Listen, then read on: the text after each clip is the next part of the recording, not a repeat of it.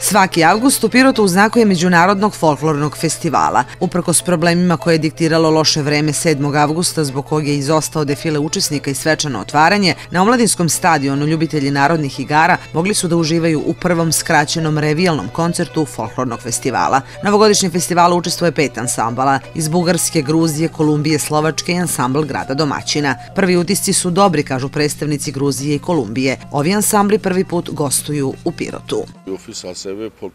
Naš ansambl dolazi iz Gruzije koju karakteriše bogat folklor. Naš program koji u Pirotu predstavljamo usko je povezan sa tradicijom regije oko Tbilisija. Postojimo dugo i već punih 16 godina gostujemo posebno širom Evrope. Prvi put smo u Pirotu, domaćini su izuzetni.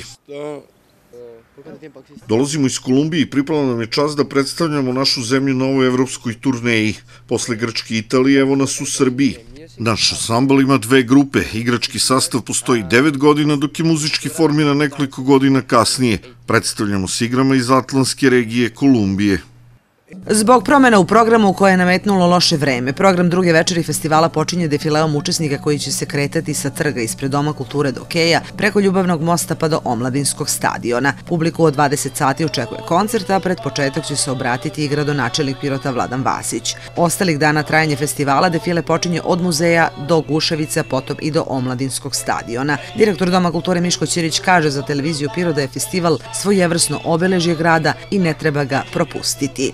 E, takođe da kažemo da je ulaz je besplatan, znači svi naši sugrađani mogu da dođu besplatno da pogledaju, zaista mislim da će uživati u programima. Cilj festivala je da mi pokažemo našu kulturu drugima, odnosno naše igre, naše, naše, naše nošnje, a naravno i da naši, naši sugrađani vide kulture drugih zemalja i drugih kontinenta, ne samo drugih zemalja. Već sada, kaže Ćirić, dok traje 18. po redu festival, počinju i pripreme za naredni 2024. Što govori koliko je kompleksna organizacija jedne ovakve manifestacije. Razgovarali smo se i dogovorili smo se da naredne godine imamo uh, tri ansambla. Nadam se da ništa neće naravno umeđu vremenu da se izjalovi, ali da imamo jedno, jedan ansambl iz Južne Amerike, jedan iz Severne Amerike.